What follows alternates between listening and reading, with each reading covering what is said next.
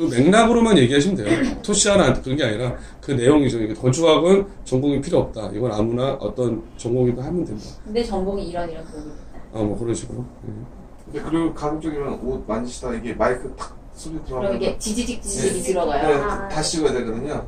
네, 이렇게 결국에는 움직이지 말고. 아까는 움직이면 된다는데. 어, 건축공학 커리큘럼 자체가 부동산을 이제 많이 보러 다니고 그다음에 어찌 됐건 부동산을 이제 세우고 이제 건물을 세우는 거죠. 그리고 건물을 세우고 이런 일련의 과정들을 배우기 때문에 그런 부분에서는 좀 연관이 된다고 할 수 있어요.